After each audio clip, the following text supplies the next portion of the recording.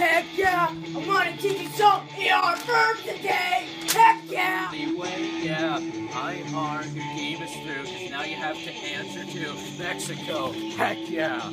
So use ER when duty calls Mexico. Heck yeah. Mexico. Heck yeah. Put an O instead of ER to make it the yo form. Now how do you say I run? Would it be yo corro? Say you run. Say to correct. Mexico. Heck yeah. If you want to say we run, say nosotros queremos. But not least, if you see someone running, you say Aos Karen. Heck yeah. We hope you learned how to use ER verbs today. Mexico. Heck yeah.